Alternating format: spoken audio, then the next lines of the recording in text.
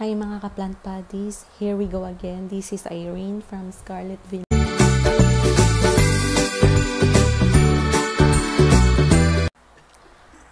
Today, isi-share ko sa inyo yung isa ko na namang hanging plant na paborito ko ngayon. Uh, nagtatribe siya summer or tag-ulan. Rain or shine, nagtatribe siya. Asiatic Jasmine. Asiatic Jasmine grows wild in Korea and Japan.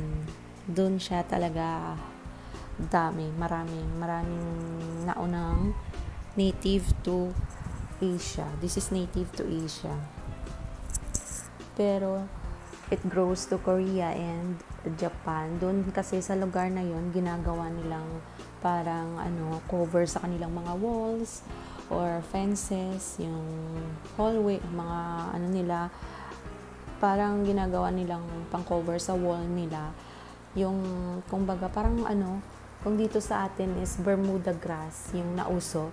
Pero doon sa kanila, ito yung nauso. Even sa Amerika, ginagawa rin to nila. Sa US, ganun.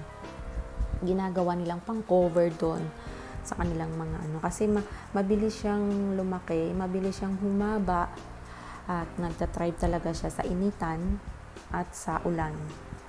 Ayan, inahang ko lang siya doon sa naiinitan siya buong araw.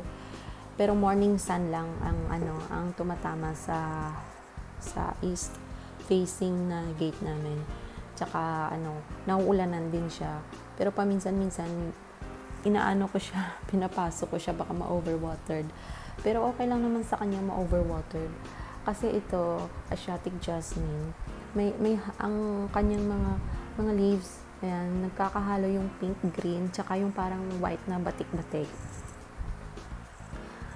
Kailangan niya ding ano, may initan sa labas ng ng tinitingnan ko akala ko ano kasi eh. Akala ko, nakita ko, akala ko ano, akala ko peste. Hindi ko lang alam kung peste to. Pero ito pala, ugat pala niya to. Pala ko peste. Ito. Yung ugat niya. Sana nakita niyo.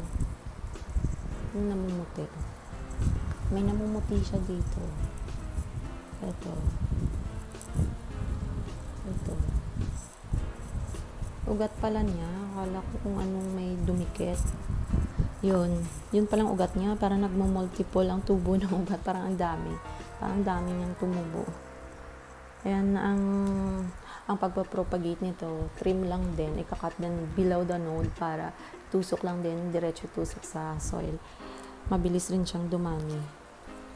Mabilis siyang dumami. Kasi nung nakuha ko to, mala ano lang, maiksi lang to, tinransfer ko lang sa isang nursery bag na plastic bag na black. Tinransfer ko lang siya dito yon mas magandang hinahang siya para ang haba niya. Para humaba pa siya ng humaba pa siya ng mahaba. Alam mo yung itsura ng kanyang ano ng ugat nung tumubo kanina yung pinakita ko parang ano siya parang aphids. Kasi puti eh. Ayan ayan sa thumb sa thumb ko. Parang aphid sana nakikita niyo parang aphids kasi siya. Ang puti tsaka ang dami. Ang dami niyang ugat Parang nagpapapatong-patong na ugat niya. Yan. Hindi ko siya ipopropagate ngayon kasi kasi inaantay ko pa siyang humaba ng humaba. Ang ganda kasi niya. Ayan. Ayan yung Asiatic Jasmine. Ito yung paborito ko ngayon. One of my favorite. Lahat naman paborito ko sa mga ano kay collections ko. Tsaka nagkukulik ako nung yung mga gusto ko talaga kasi wala na tayong mapaglagyan. Pag lahat na lang, eh, kinuha natin. Ayan.